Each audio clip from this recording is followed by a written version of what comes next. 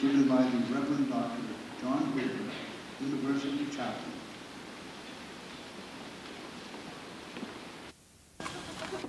Most gracious God, as we depart this place, these halls of learning, give us the courage to face the new activities of our lives, and may all new opportunities find us eager, not reluctant. Way ahead should be easy, then let us show our gratitude by helping someone less fortunate. If our way ahead should be difficult, let us remember that all mountains can be climbed, just like all handicaps can be overcome. Keep us alert to the need for change and open as channels for divine power. Help us to keep ever keen the edges of our minds, that our thinking may be straight and true. Always, dear God, guard us from the sin of dullness Give us the will to keep our passions under control and the common sense to keep our bodies fit and healthy. For after all, our life is your greatest gift to us. Dear God, you know all of the secrets that will remake this world.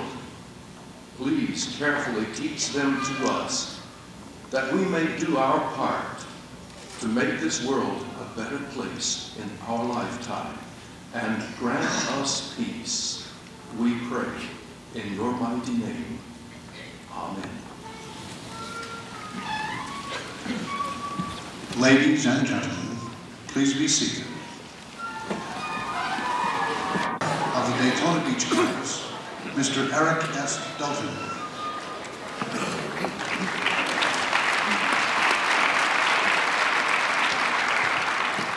pleasure for all of us to welcome the families and our distinguished guests to this, the most important and probably the most anticipated event on our academic calendar, graduation. We've set aside a photography area uh, in front of the stage so that the families may come up and photograph the students. Please come up and take your pictures, and then as a courtesy to others, return to your seats so that everybody will have a chance.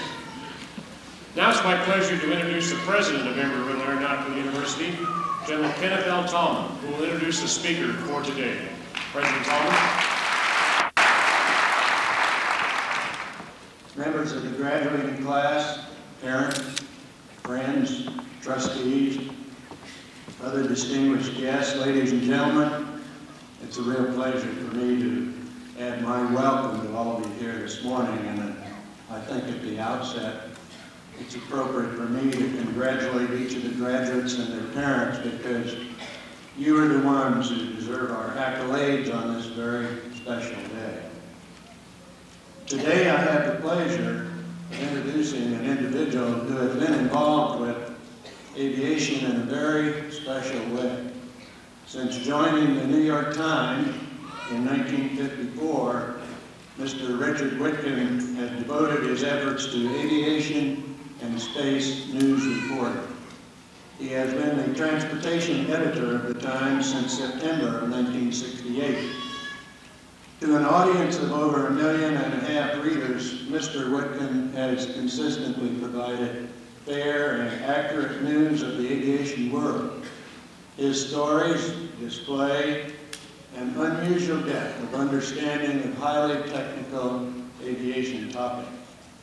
Mr. Witkin served in the Air Force during World War II as a B-24 pilot based in Italy accumulated some 33 combat missions, returned to the United States with the rank of captain and having earned a Distinguished Flying Cross and the Air Medal of the Civil Cluster. Over the years, Mr. Witkin has earned numerous honors and awards for his writing. Most recently, as a member of the New York Times team, he was awarded the Pulitzer Prize for their 1986 coverage of the Challenger disaster. Mr. Witkin is a graduate of Harvard College, cum laude, and the Columbia University Graduate School of Journalism. I might add that he plans to retire next month after some 35 years with the New York Times. But we're very pleased to have him on this special occasion. And it's a great honor for me to introduce to you an individual who is a real friend of aviation and who has contributed greatly to a better understanding by the public of aviation accomplishments and aviation issues. Please join me in welcoming Mr. Richard Whitfield.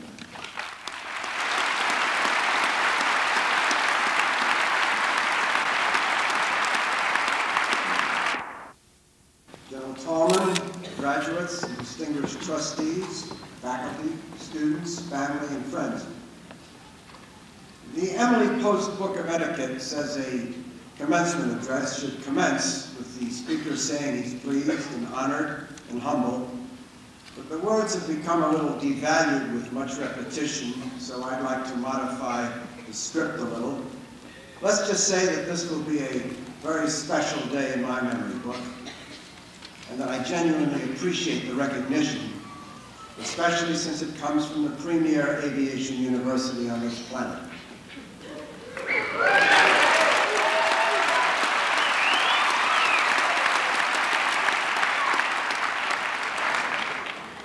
This is a very exciting and dynamic field you graduates are hooking into. I stumbled into it in 1942 as an aviation cadet as a way of advancing from my high station as a drafted private in the Coast Artillery. And I've seldom had a moment of serious regret that things turned out this way. Coming to Daytona Beach, I'm reminded that it's 30 years since the first and only other time that I've been to Daytona. And it's dizzying, really, to recall the pace of change in aeronautics in the interim. I drove up from Cape Canaveral one evening early in 1958 to pick up my wife and then five-year-old son at the airport here, so they could join me in witnessing attempts to put the first U.S. satellites in orbit. Remember, this was a time when aerospace activities in this country had already reached a pretty sophisticated level. The airlines were beginning to make the transition from propellers to turbojet planes. Ballistic missiles were already being test flown. Yet, despite these technological leaps, visions of the industry's future were tempered, except in way out rocket society circles, by a large amount of conservatism. Let me give you a couple of for instances. I recall a good number of experts contending that because jets gulped so much fuel and needed such high takeoff speeds with such heavy fuel loads, only a handful of runways would be long enough to accommodate jet operations. Similar short-sighted thinking may be reflected in the reaction to initial announcements about a new Rolls-Royce jet engine that was being touted by our competitors in Britain. It was the Conway bypass, apparently the first engine to slash fuel consumption by combining pure jet thrust with propeller-like bypass thrust. Some top-level American engineers insisted when asked about the announcements that the Rolls-Royce engine was not a very meaningful development. Today, the bypass, otherwise known as the turbofan, is the standard engine for airliners. And jets using them can get in and out of runways that are half the length the pessimists were relegating them to. If vision can often be lacking, it can also magnify out of all proportion the portent of what comes into a visionary's sights. Soon after World War II, numerous magazines were carrying advertisements showing Farmer Jones cruising over the rural Midwest at the controls of a Cessna, as though one could anticipate before long a puddle jumper in every barn. General aviation has come a long, long way, but that scenario has never come close to reality. I also remember the press release about 20 years ago disclosing that a respectably sized airline had ordered anti-collision devices for their planes. The order was ultimately canceled because the device was useful only if both airplanes in a potential midair were equipped with the device. And that was much too much for the pocketbook of the average general aviation pilot.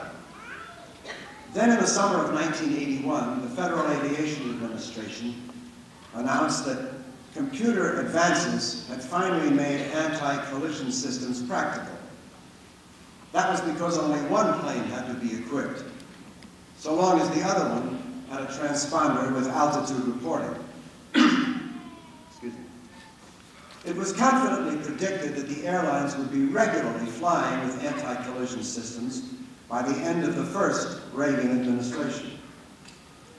The second Reagan administration is about to end, and we're still waiting.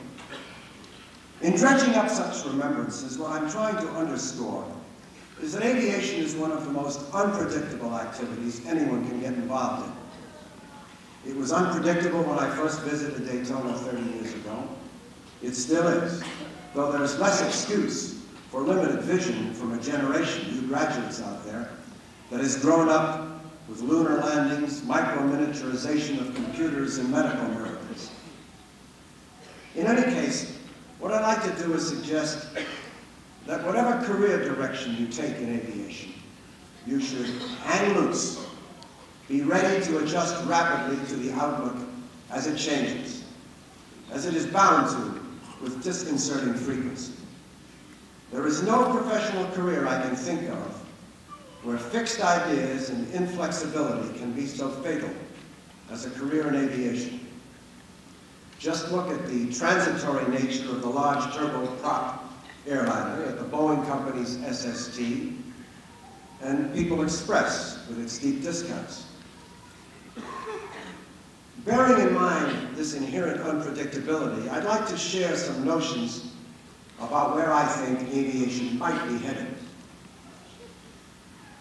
The would-be airline pilots among you know that galloping automation has robbed the job of a lot of the throttle jockey excitement that's been a prime attraction since the first powered flight at Kitty Hawk 85 years ago today.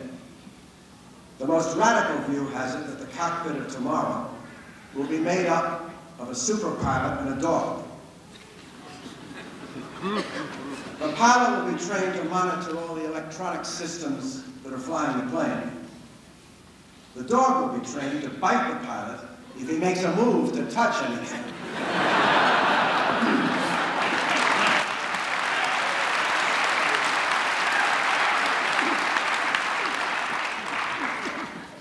I'm certain the airline pilot's job will provide other psychic rewards to make up for the adrenaline-pumping elements of earlier days.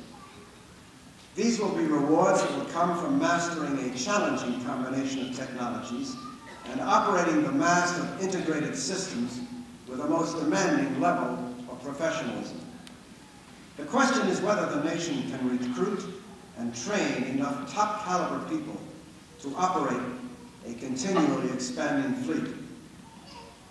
To do so, I believe that the airlines will have to go a lot farther than they have so far in restoring the cuts in pilot pay levels that were a byproduct of deregulation. One factor that could moderate the demand for pilots is the threat that we might run out of sufficient runway space to handle a continuing increase in flight operations. This is a so-called capacity crisis, capacity on the ground at the heavily used airports. Of course, there's a parallel threat of overcrowding up in the air along the, the nation's major airways, but that threat should be easier to deal with. The three-dimensional sky is still a pretty big place. The current fashion is to deplore the fact that no major new airport has been added to the system in 15 years, and that the only big one that's really in the works in Denver, Colorado, is still years from reality. But because efficient air travel is so fundamental to a healthy economy, I think that enough interim measures can be taken to keep from running out of room while waiting for major new airports to come online. It will take a lot of intelligent planning in a partnership between government and industry. I foresee several trends taking hold as those responsible for airline operations conjure up ways to counter congestion. One is to fly larger planes with fewer frequencies.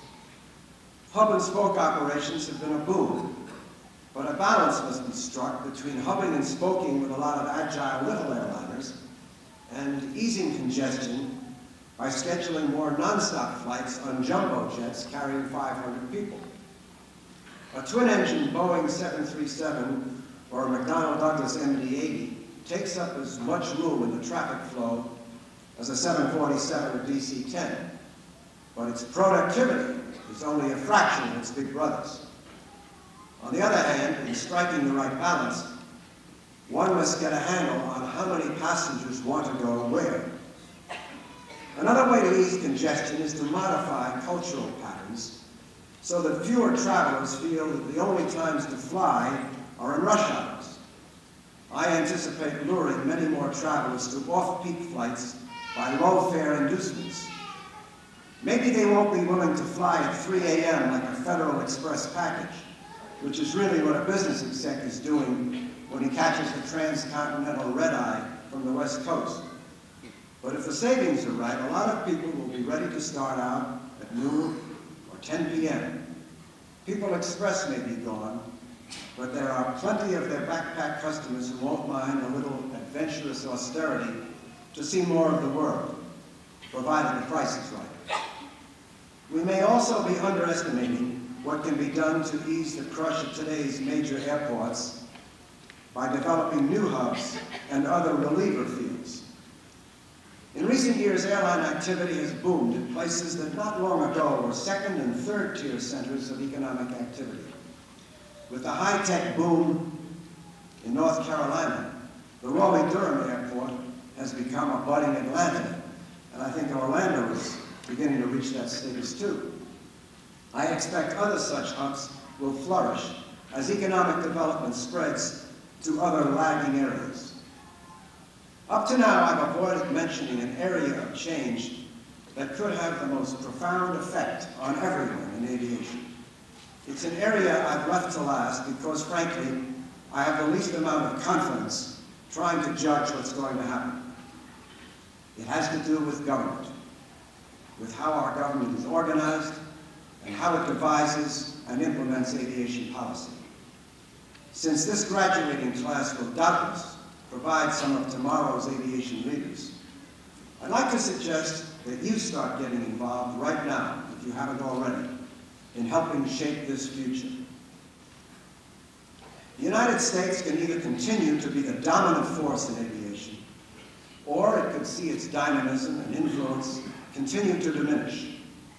Which way we go, with all that means for the nation's economy and overall strength, may well be answered in a governmental struggle that will be joined just as you graduates are rolling down the professional runway. The main battleground will be the Congress, and the chief issue will be how the FAA is to be structured and what resources will be allotted to it. The issue is coming to a head because in the past few years, the relationship between the FAA and the Department of Transportation, its parent agency, has been nothing short of a disaster. Because of this, many elements of the aviation community have been pushing mightily to remove the FAA from the department, to restore its independence. But other powerful forces, including some respected experts, oppose such a move. Time is too short to go into all the pros and cons of this issue. Many on both sides think the organizational structure is not the most important immediate issue. What is essential, they say, is to get action on a three-sided agenda. One, modify civil service rules so that more top-grade people can be recruited for the FAA. Two, modify procurement rules so the acquisition of high-tech equipment will not be delayed and delayed by the strangling effects of the current process. Three, find a means whereby the aviation agency can intelligently spend the millions, the billions, excuse me, what's another zero? The billions connected from aviation taxes and put in the trust fund earmarked for aviation projects. Just as important as organizational shapes and changes in rules is a matter of people. What can we do so that politics are subordinated and the new administration under President-elect Bush seeks out the best talent for important posts. It would be extremely helpful if a Mr. Aviation had emerged in this country, as Senator Sam Nunn has in arms control, for instance, who could significantly influence the outcome of the debate, whatever the right answers. I hope that before long, someone will pick up that challenge. You people who are graduating today can each make a contribution, whatever direction you take in this industry, by keeping in mind the nation's enormous stake in a healthy and dynamic aviation industry. It will not be easy to stay at the head of the parade, as our friends in a number of other high-tech industries have sadly discovered. But aviation would not be nearly so stimulating a field if we didn't have challenges to keep us fired up. The unpredictability, the unknowns, should keep your juices flowing and provide the potential for enormous satisfaction, even if course changes have to be punched into the computer now and then. I wish you all the very best. It has been a privilege and a delight to take part in your graduation exercises. Thank you very much.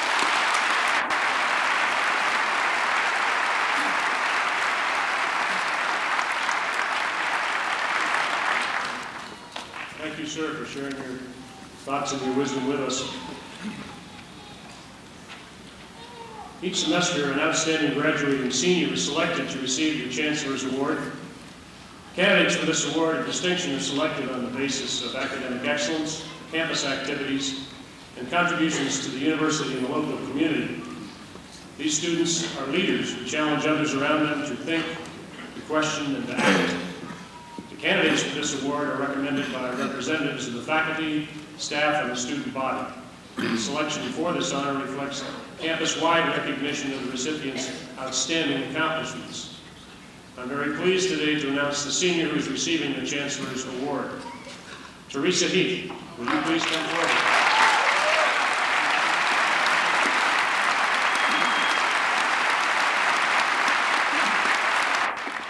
Today, Teresa is receiving a Bachelor of Science degree in Professional Aeronautics. She's been on the National Dean's List, received the Theta Phi Alpha Scholastic Achievement Award, as well as several other scholarships.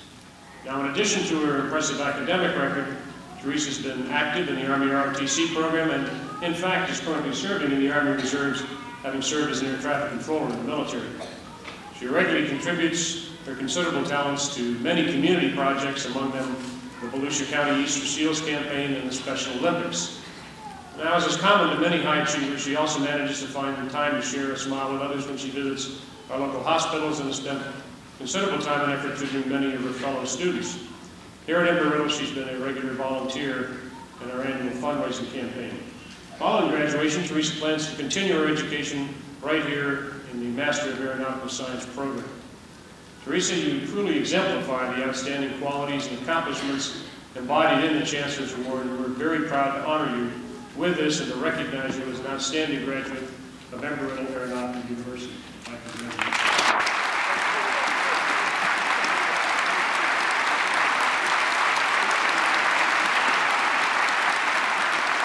Ladies and gentlemen, I'd like to introduce the president of the senior class, Adam Rose. Adam?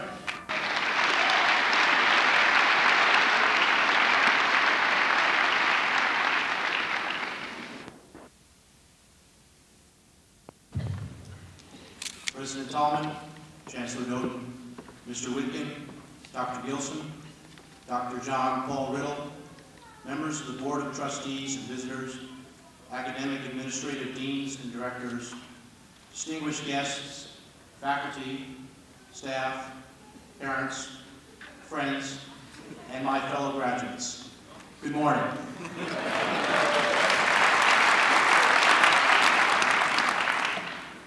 Behalf of the graduating class of December 1988, I would like to extend a warm welcome to all of you. Today marks the end of four long years of college studies. In just a matter of hours, we will all be graduates of this university. But what does it mean to be a graduate? Does it mean paying back all the debts to our family, friends, and banks Yes, it does. Does it mean returning for homecoming and beating the faculty in a softball game? Yes, that's part of it too. Does it mean buying racks of clothes from the bookstore that say Embry-Riddle Aeronautical University on them that we couldn't afford as undergraduates? Yes, that's part of it also. But what it really means to be a graduate is that we have graduated from the finest aviation institution in the entire world.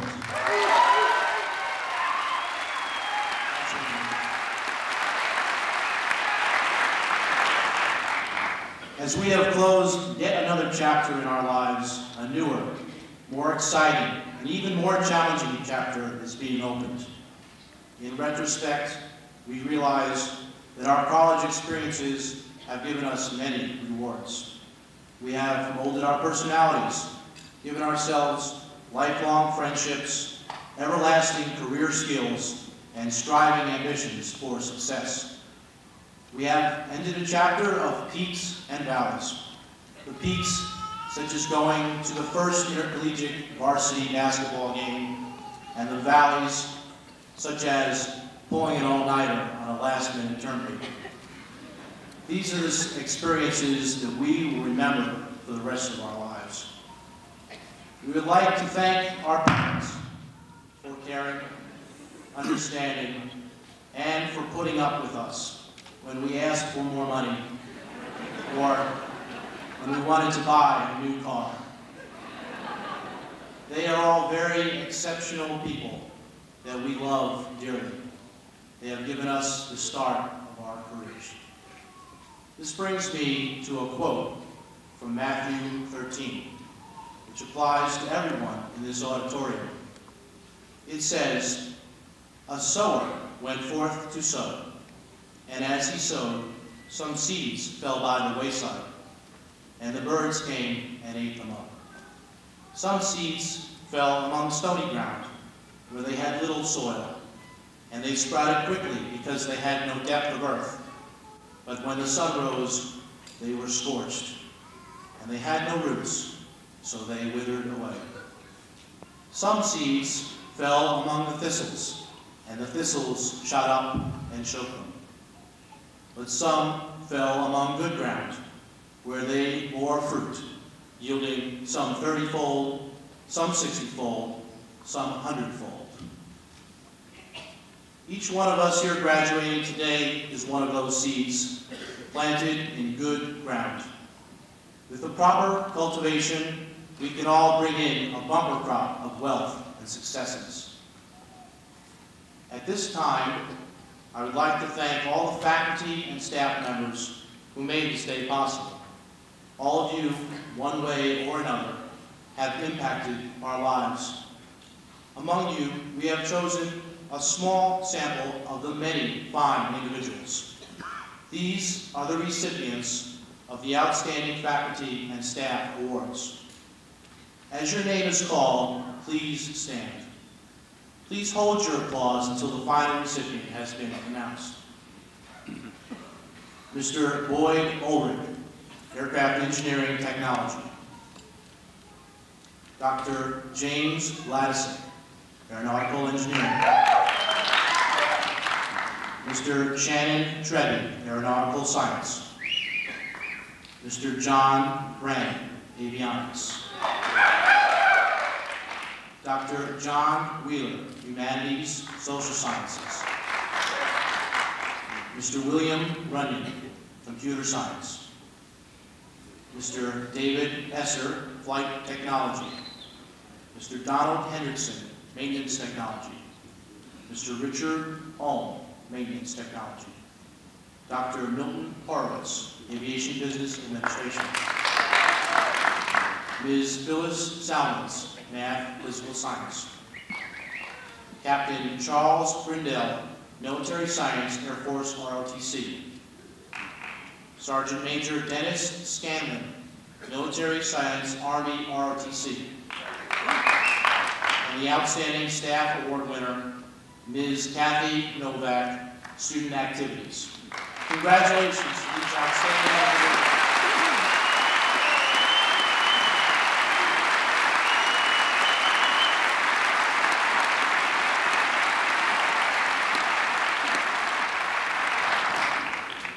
Finally, as president of my graduating class, I would like to thank all my classmates for the unforgettable experiences we have all enjoyed.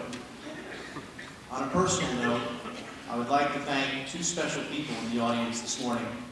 Without their love and encouragement, I would not be standing here before you today. Thank you, Mom and Dad, for just being you.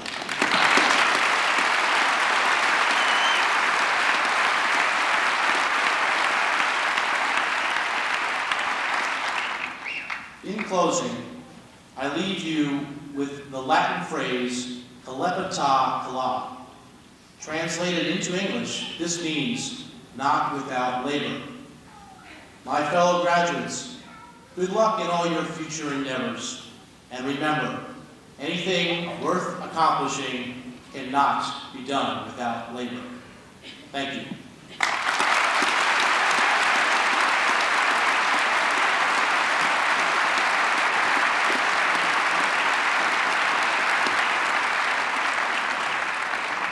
Thank you, Adam.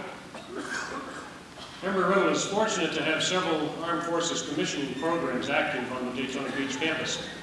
The Air Force ROTC detachment has the largest elective enrollment of any civilian institution in the country, and this year it was selected as the number one Air Force ROTC detachment in the country. Army- The Army ROTC detachment has one of the highest growth programs in the nation. 18 of our graduates have become the newest second lieutenants in our nation's armed forces, 11 in the United States Army and 7 in the Air Force. We're very proud of these people, and I'd like them all to stand now and be recognized. The nation's newest second lieutenants.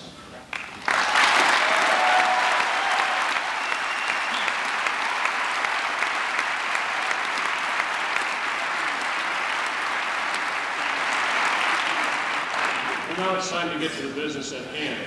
Graduation exercises will now be conducted by Dr. R. Luther Vice Chancellor for Academic Affairs at Daytona Beach campus. Dr. Reisbig?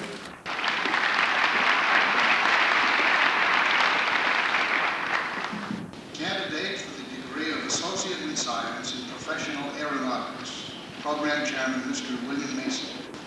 Stephen Lee Messler. Candidates for the degree of Professional Aeronautics, Program Chairman, Mr. William Mason.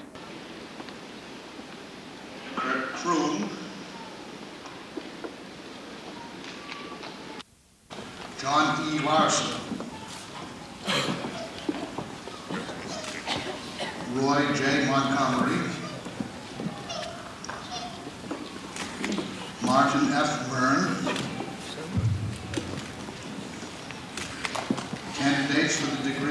Bachelor of Science in Professional Aeronautics. Program Chairman, Mr. William Mason. Stephen Gerard Schwarber. Paul Allen Connor.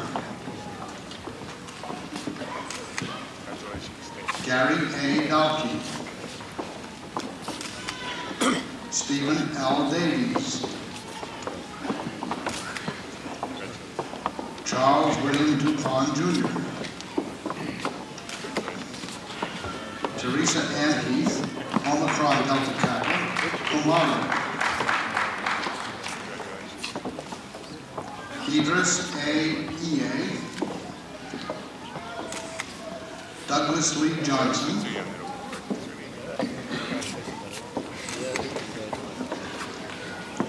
Newell Warrington Long III.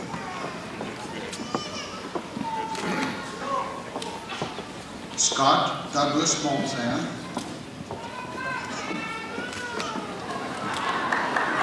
Kingsley O'Brien Nelson. Clifford G. Page. Mark T. Palin. Perry Leon Paulahamis. Robert A. Petnacki. Martin Boyd Quinlan. Timothy Clinton Ridge, magna cum laude. Richard B. Sanders. Kosalati Anderson Sabanga. Roger A. Smith. Earl Dwayne Sutherland. Oh, we did it, huh? Candidates for the degree of Associate in Aviation Maintenance Technology, Program Chairman, Mr. Paul F. Taylor. Linus B. Chernius. Harry Belcher. Christopher James Delfino. Dwayne A. Diamond. Raheem A. Elazawi. Dean Roger Goodrich. David William Kresge. Roderick Gregory Martino. Michael Russell Ryder. Congratulations to you. Candidates for the degree of Bachelor of Science in Avionics Technology, Program Chairman, Mr. E. Nolan Coleman. Derek T. Joe.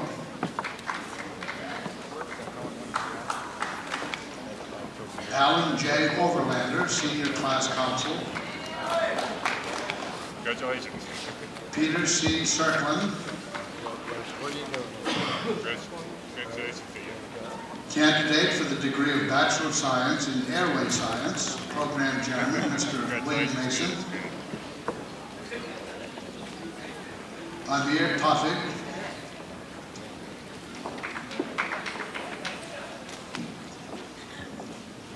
Candidates for the degree of Bachelor of Science in Aviation Technology, Program Chairman, Mr. John Brannan. Second Lieutenant Amilcar Rene Calero.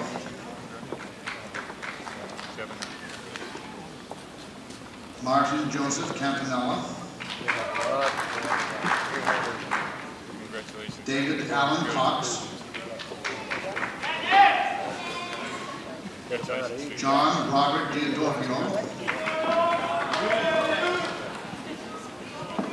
Charles L. Friday, cum laude. Congratulations to you. Jose A. Lamas. Congratulations on the honors. Jose M. Lanzas, Senior Class Council. Congratulations you.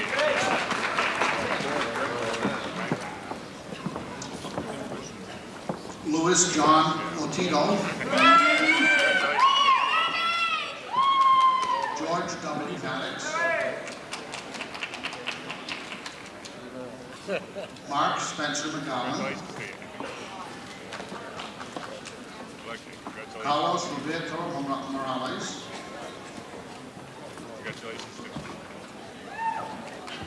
Reggie V. Mayer.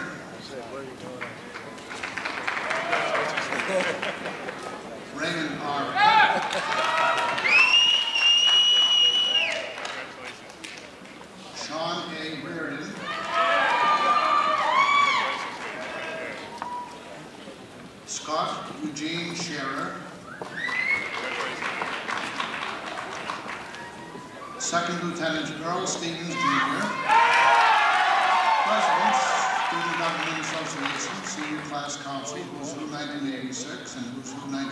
1987.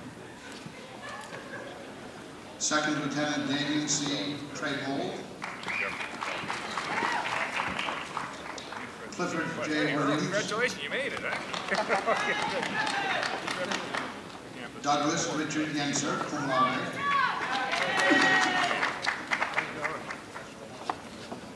Saeed S. Zaidi.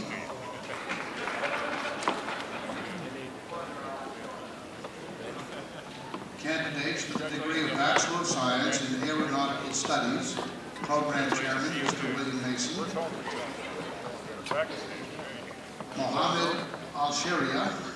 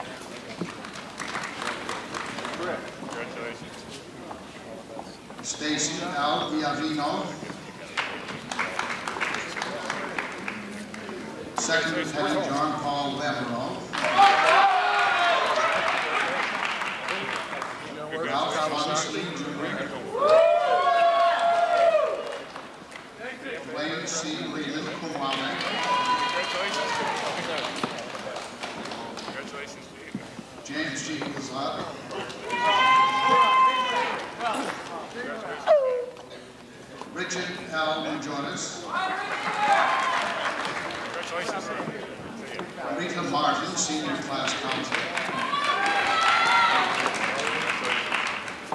Lisa P. Miller.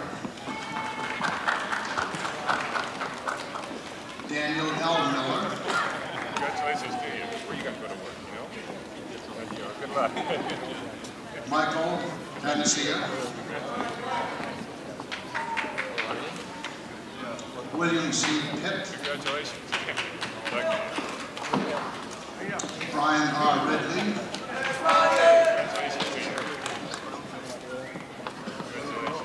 Second Lieutenant Ricardo D. San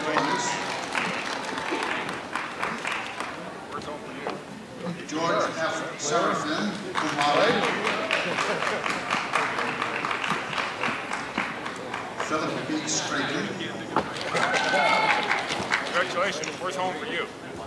Was John J. Straight. Yeah, congratulations James W. Stringer. Lieutenant Rick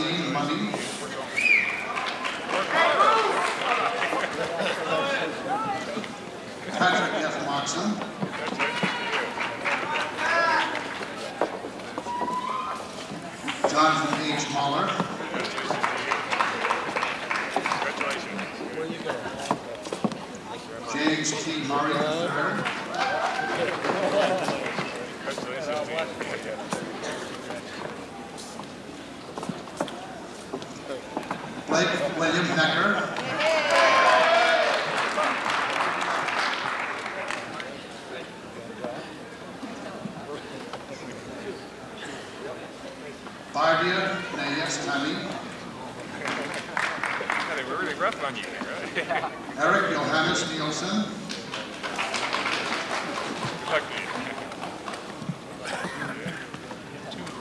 Melissa Onoff.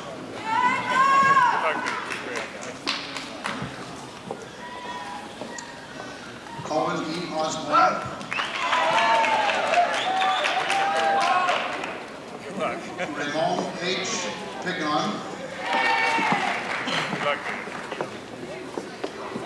Robert David Petrus,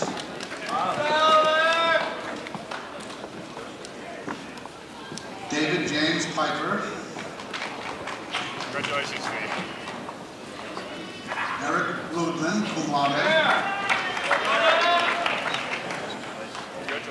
Adam Rose, President, Senior Class Council, Congratulations on the honor. Kenneth Ryan Schaefer, Roy Cameron Sears, It was good talk, Adam. Yeah, congratulations. Susan Stell Seelig, who's who, 1988-89, Richard A. Schreck, Congratulations to you. Where you going to go? John Daniel Spankers, Good, good.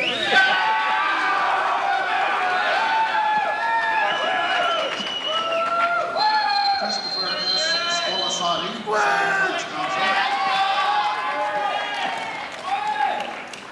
John Robert Stasiowski, Congratulations, Steve. Yeah. Kieran Joseph Sullivan, Congratulations, Steve. Pierre A. Taylor, magna cum laude, Congratulations. Vahi Talasian,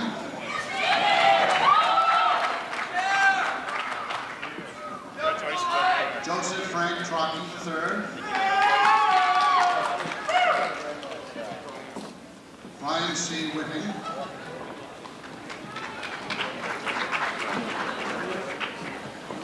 Lawrence Albert Widener, candidates with a degree of Bachelor of Science in Computer Science with Aviation Applications, Program Chairman, Mr. A. Salini. George A. Arroyo.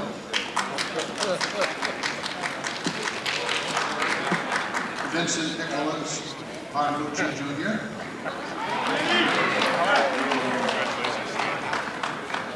David F. Carter. Congratulations, Steve. James George Del Toro, Congratulations, Steve. Mary Jo cum laude, Congratulations, Steve. Manuel I. Fernandez Longo, Senior Class Council, Society of Collegiate Journalists, Congratulations, Steve. Where's home for you? Jose R. Congratulations.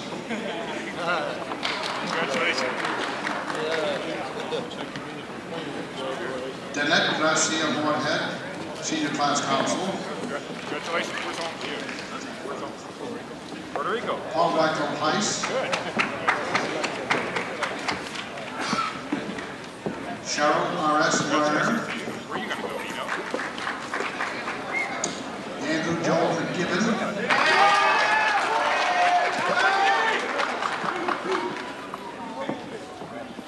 Alia F. Mokhtar,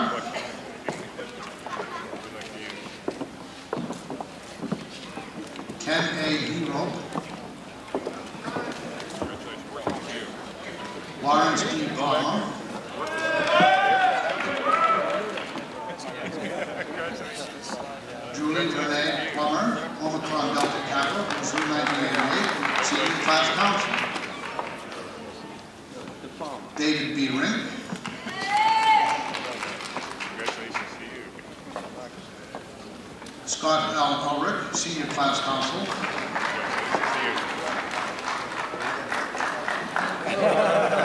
Candidates for the degree of Associate in Science in Aviation Business Administration, Program Chairman, Mr. Donald J. Campbell. Edwin O. Swenson.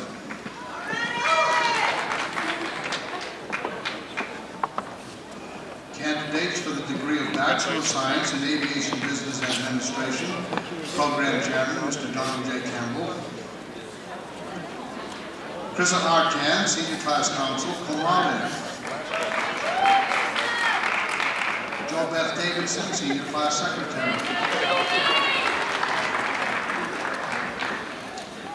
Michael Allen Gray.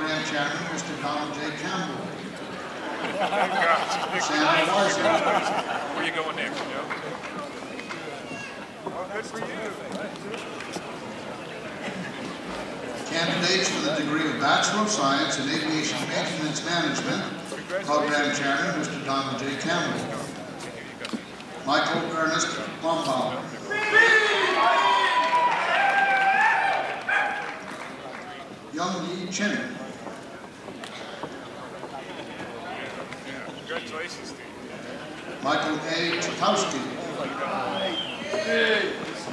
Congratulations, Steve. Where's home? Where are you? Joseph M. Churchill.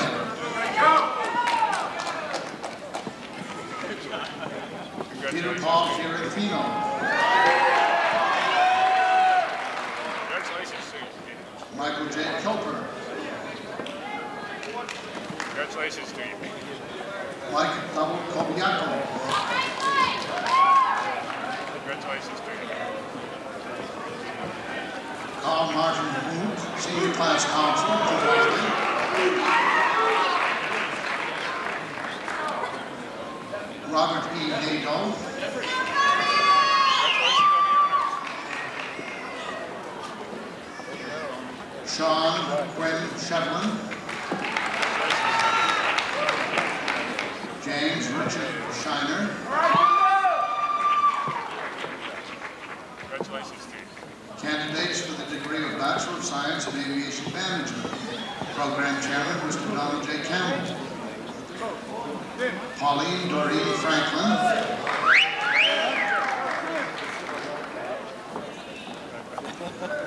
John J. Stick, Congratulations. Where's home for you? candidate for the degree of Bachelor of Science in Aircraft Engineering Technology. Program Chairman, Mr. Peter C. Halston. Philip Ray Delange, Omicron Delta Kappa, Sigma Tau Epsilon, Senior Class from Walden.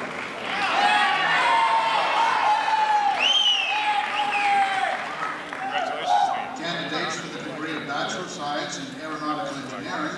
Program Franklin J. Atherton.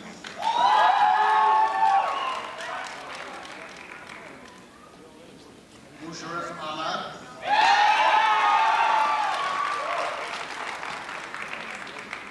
Karim N. Ali.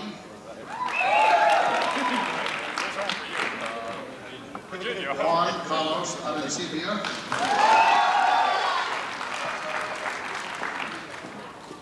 Edward A. Bailey, Sigma Gamma Tau.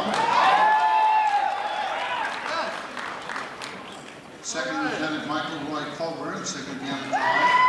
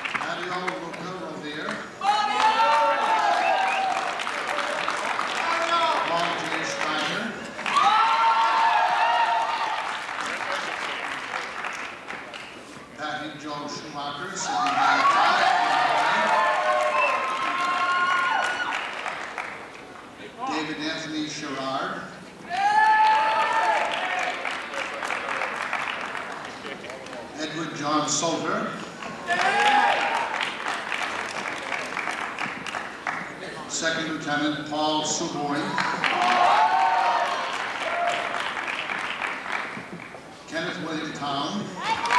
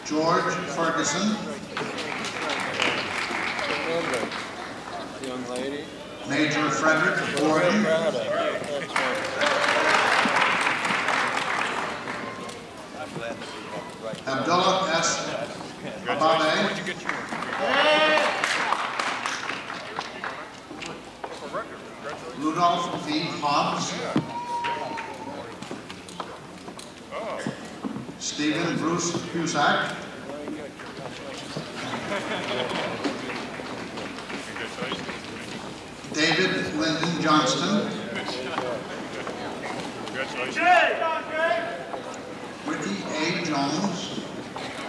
Congratulations to you.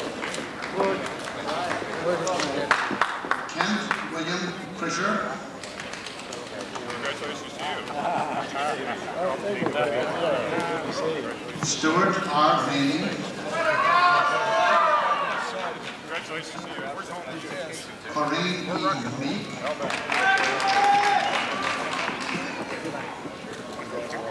KJ Starzinger.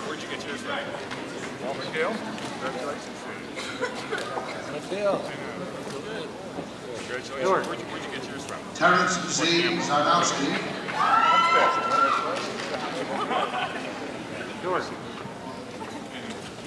Candidates for the degree of Bachelor, Master of Business Administration in Aviation.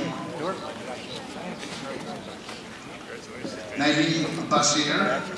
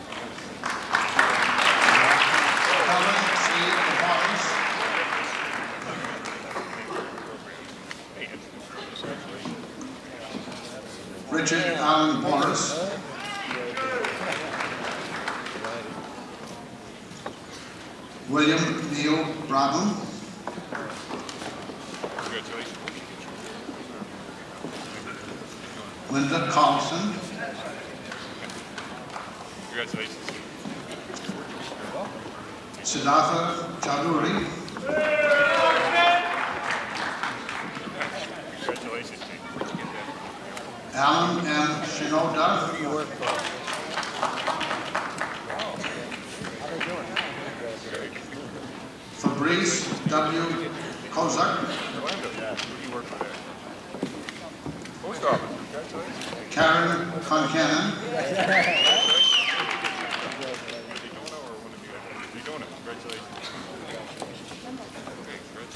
Alan Norton Davidson.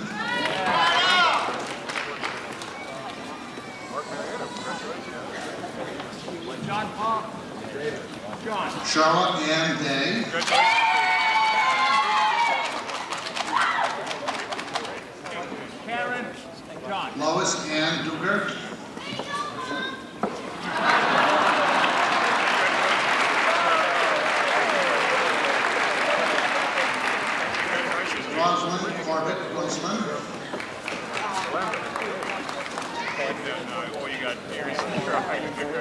Mark Kemp, Congratulations. Good luck to you. She's not happy or anything. Tanvir Ahmed Khan, Are you doing it?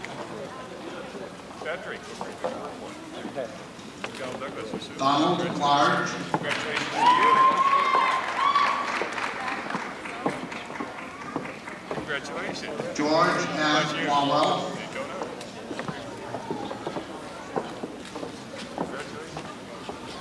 Daytona. Congratulations. David C. Merchberger, Great. See you. Congratulations. Where'd you get yours? Thomas Messina, Congratulations to you. Yeah. Ellen Popper Prince,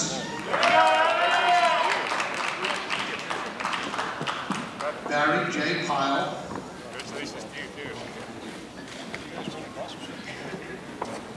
Charles N. Reagan,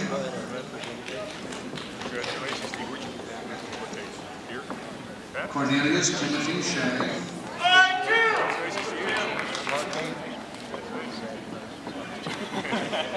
Gary D. Starling.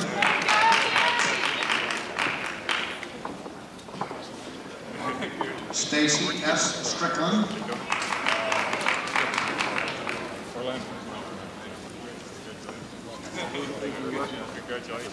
Bina Subana, Congratulations to you. Christopher David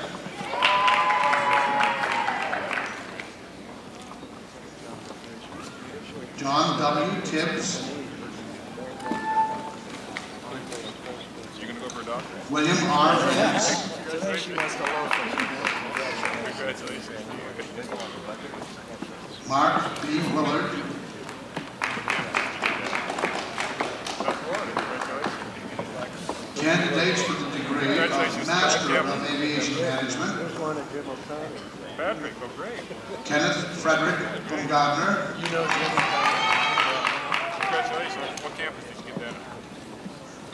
Patrick. Paulo M. Congratulations to you.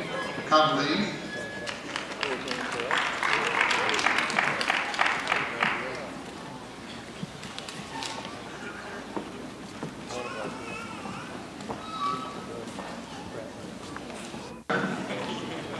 Congratulations to you. What campus did you get that at? Here's the door. Keep going. candidates for the degree of Master of Science in Aeronautical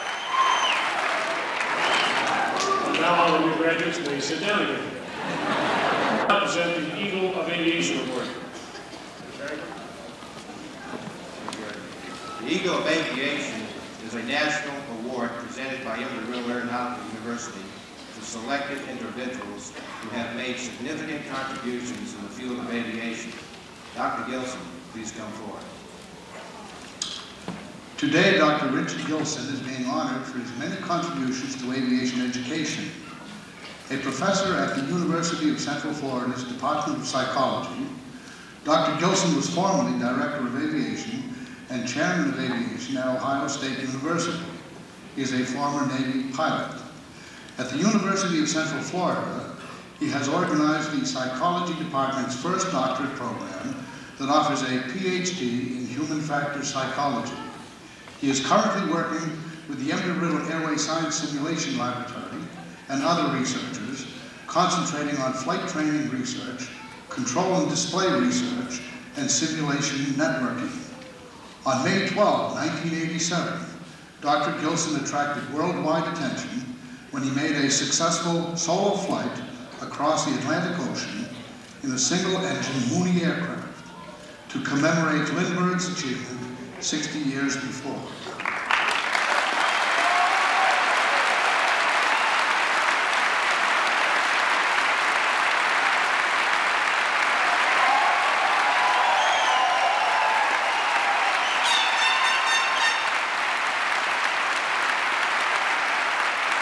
Dr. Gilson achieved his goal of carrying out Charles Lindbergh's wish to use technology for conservation.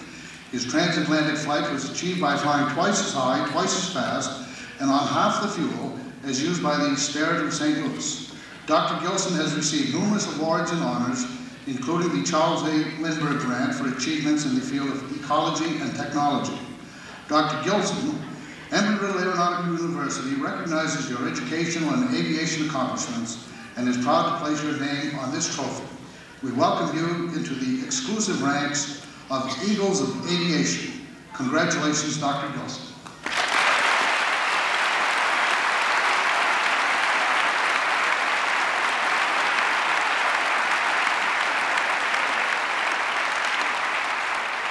President faculty, graduates, and yes, uh, professors usually spend about an hour after they start um, uh, in, in lectures. And as I'm a professor, but also, don't fear, taught as a pilot to be succinct, I only have a couple of words. Uh, first, I am deeply honored and humbled at such an award from Embry-Riddle Aeronautical University. I've been an admirer of this institution for many years and continue to be. Second, that a degree, um, the, the honor of a degree, is directly related the respect that one has for the institution. You at uh, your Embry-Riddle Aeronautical University are the premier aeronautical university in the world. No doubt about it. And you have been successful. You have been successful in blending aviation and academics together. And all of you are proving that. They are my professional love. And because of that, this has a special meaning to me that I will never forget. Thank you.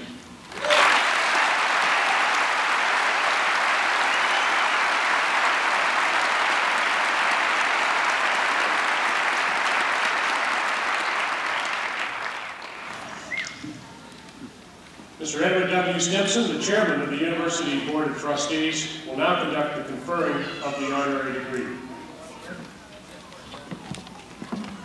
Dick Witkin and Dan Dodd, would you please come forward? Richard Witkin, a graduate of Harvard College cum laude and of the Columbia University Graduate School of Journalism, has been transportation news editor of the New York Times since 1968. Joining the Times in 1954 as an aviation specialist, he worked for a time as a general reporter and rewrite man before turning his full attention to aviation and space news reporting. He became aerospace news editor in 1963. Mr. Witkin has won many prizes for his writing, including the Page One Award of the Newspaper Guild of New York, several TWA Aviation Awards, the 1975 Publications Award of the Flight Safety Foundation, a presidential citation in 1983 from the Air Traffic Control Association, the Lauren D. Lyman Award in 1985 from the Aviation and Space Writers Association, and in 1986, as a member of the New York Times, he was awarded the Pulitzer Prize for coverage of the Challenger disaster. It is said of Mr. Witkin that his reporting is consistently fair and accurate. His stories reflect a depth of understanding of technical aviation topics which most general press aviation reporters lack. A recent award nomination for the Aircraft Owners and Pilots Association stated that Mr. Witkin has managed over the years to take the highly charged topics of aviation and aviation safety and consistently write about them in a reasoned and fair manner, making sense out of the technically complicated and emotionally volatile issues. In tribute to his sustained record of fair and accurate coverage of the aviation and space news, resulting in better understanding of aviation by the general public, Embry-Riddle Aeronautical University is proud to confer upon Mr. Witkin the honorary degree of Doctor of Aeronautical Science. Congratulations, Dr. Witkin.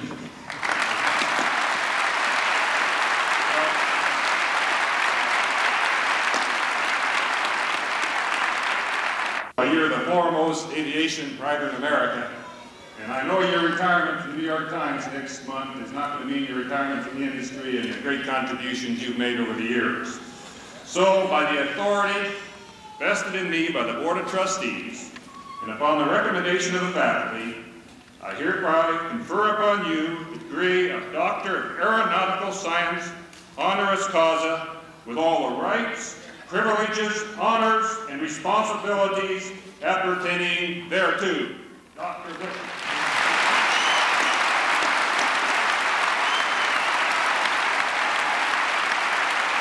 very, very intend to get into a rocking chair, particularly after down here and seeing Embry-Riddle and getting so enthused and excited by what I saw in my tour of the place yesterday. It's, it's a real gung-ho organization, and I'm going to keep, try to keep busy freelancing it. I'll remember this day always, and thank you very much for letting me participate.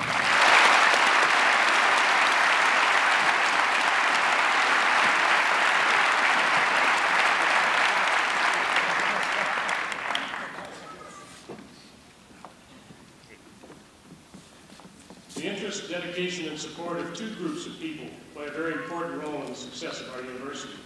The Board of Trustees and the Board of Visitors. Will members of these boards who are here please stand so that we can recognize you, members of the boards of trustees and visitors.